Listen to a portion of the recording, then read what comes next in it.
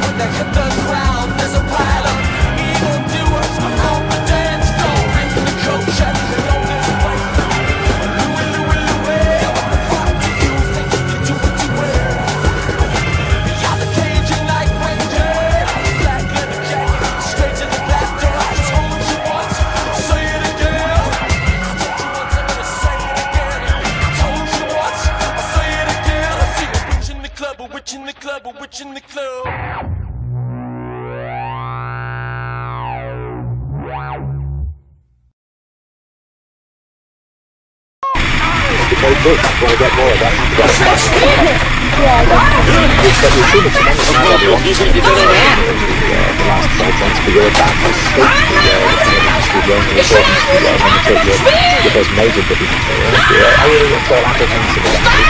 Oh yeah, very, very good. It's, I'm very excited. It's, it's very me, it's something that I've always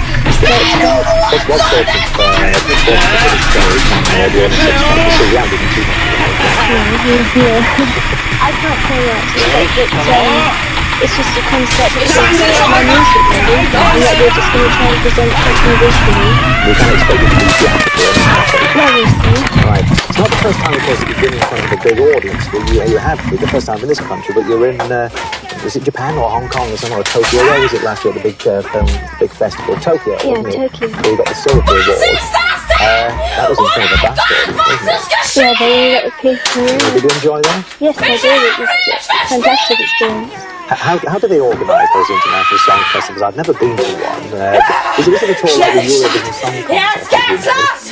Well, I wouldn't be able to compare because it's the first thing I've done like that. But the amount of organisation is phenomenal because there's so many artists involved and it was in a very big hall, a live orchestra, and uh, the preparation must have been incredible.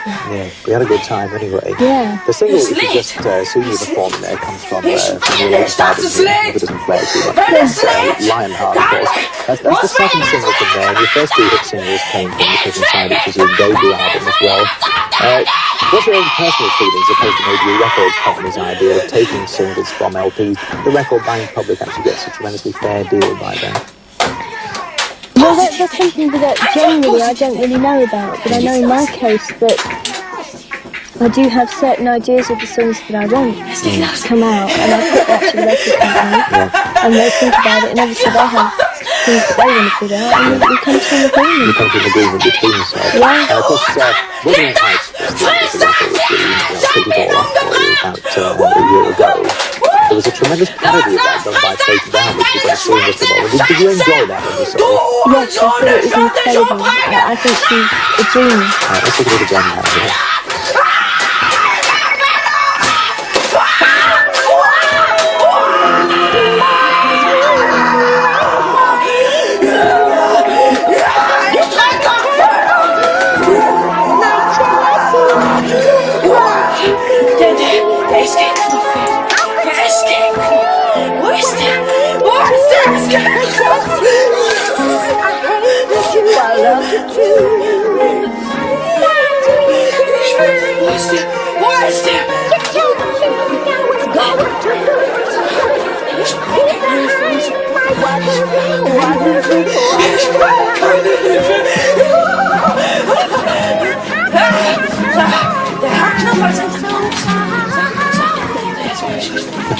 It, yes, you had a, had a smile at that. How, how, how did the uh, the technique, uh, your own technique, actually evolve? The one that was being parodied uh, by Faith Brown. In fact, there's a guest in a couple of weeks. Well, I, I just like to say that I think the amount of research she must have done, I mean, she must have watched that video so many times because the movements are just so better than mine, you know, even when she over, it's great. But uh, that happened really meeting um, a man called Lindsay who was very theatrical and a artist.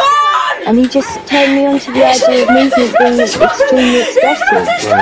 And uh, that's what I try to do. I try to get the movement You're, you're about to go of a concert tour of theatres, but a lot of ladies at some time in their career get pushed towards the, the glamour end of the market, the cabaret circuit.